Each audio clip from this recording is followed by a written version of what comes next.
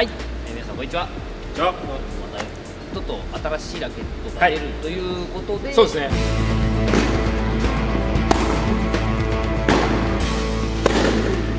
どんなラケットかは申し上げないので単純に今日はもうせっかくなんで内山プロにも入っていただくんで、えーお二人であの打っていただいて、まあ、プロスタッフです。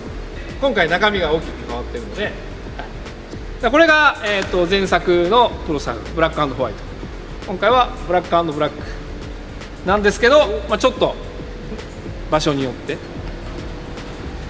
ただね今回特徴はやっぱここなんですよね。ここだけ中が見えてます。はい。でこれ全部一緒ですから中。だここだけがなんかじゃなくって中が違いますこれとは。とりあえずパッと打ってあすごいよく飛んでくれてるパワーがあるなって実感できたのが今作の方、はい。圧倒的にパワーがあるなと思った、はい。ただパワーがある硬い飛びではなくて、はい打球がでこうしっかり押して飛んでるよっていうのが伝わる。だから中途半端にこうラケットが持ちすぎちゃったりすると力が伝わらなくて飛ばなくなってしまうっていうこととか出てくるんですけどしっかりと力の伝わる感覚での飛び感っていうのがあるので自分が振った分イメージしたボールっていうのが表現しやすいより表現しやすい感じがしてるんです、はい、食ってる感って言ったらどうですか？食ってる感じ。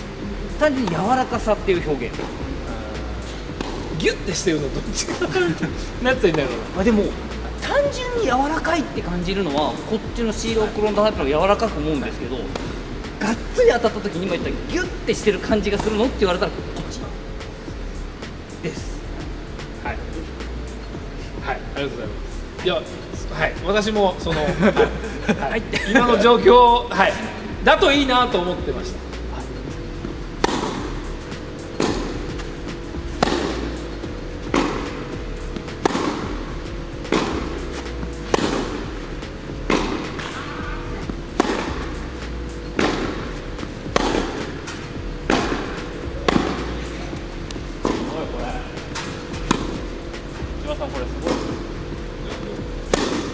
今日試合持ってっても試合できますす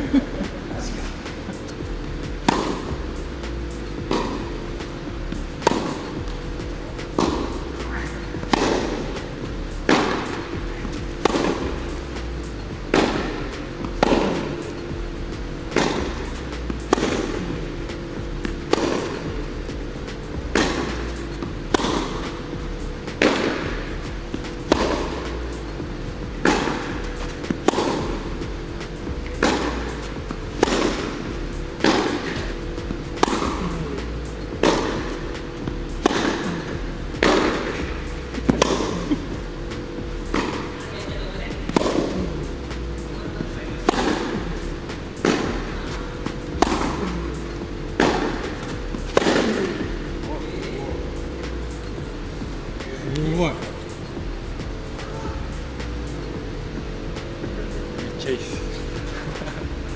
ま あどっちもすごいいいラケットなのは間違いないです。ただその中で感じたのはうちの旧作の方は普通に操作性が良くて普通にこうななんていうんですかね自分のイメージ通りしっかりボールが飛んでくれてこう本当にプレーしやすいラケットだったなっていう印象です。この今作の方は僕の感じだとその確かさっきおっしゃったそのギュッとした感覚もありましたし想像以上のボールがいくのかなっていう気がしました、はい自分が例えばベースライン2メーター手前でにボールが落ちるなって思ったボールがこのラケットだったらベースライン付近まで飛んでいくような。これって結構自分が思ってる以上に大事なことだと思うんですよ。えー、困っちゃわない。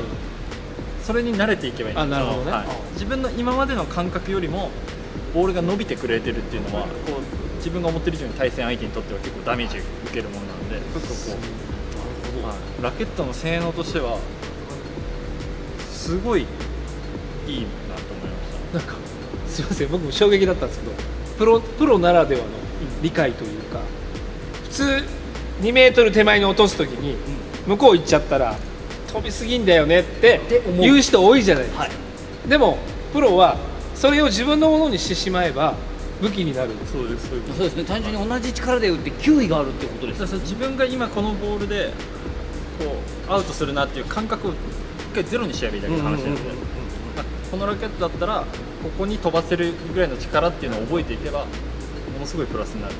で今までより少ないパワーで同じだけのボールを飛ばせるようになるどなたにも可能にしてくれるんじゃないかなっていう期待を持たせてくれるラケット大ヒット間違いないです。そのまま今試合で使えるっていや本当。